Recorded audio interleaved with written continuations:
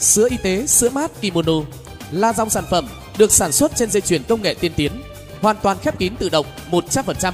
đạt tiêu chuẩn ISO 22000 2005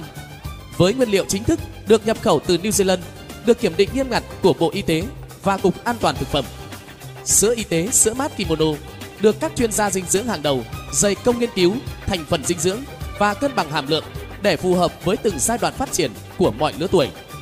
Với các thành phần ưu việt được các bác sĩ chuyên khoa hàng đầu các viện lớn khuyên dùng cho trẻ sơ sinh, trẻ sinh non, thiếu tháng và trẻ đang trong giai đoạn phát triển.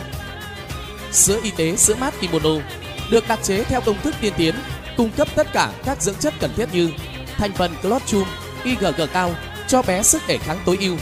tỷ lệ DHA, ARA theo tiêu chuẩn công thức của Viện Dinh dưỡng Hoa Kỳ giúp phát triển tối đa não bộ.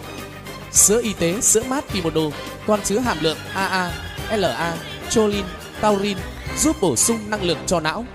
bổ sung axit amin và các vitamin lysine, kẽm, canxi D3, vitamin MK2, tinh chất MK7, chất xơ hòa tan giúp hấp thu tối đa và phát triển hệ xương và chiều cao tối đa, giúp hấp thu kích thích ăn ngon, tăng cân khỏe mạnh.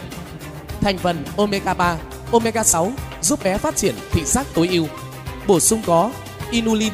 lactium trong sữa giúp ức chế vi sinh vật có hại, kích thích sinh sản vi sinh vật có lợi cho hệ đường ruột, giúp bé khỏe mạnh, tiêu hóa tốt, hấp thu hiệu dinh dưỡng, ngăn ngừa tiêu chảy và tăng cường hệ miễn dịch.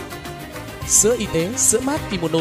cung cấp trên 40 vitamin và khoáng chất cho sự phát triển vượt trội của bé. Hội tụ đủ 3 tiêu chí: mát,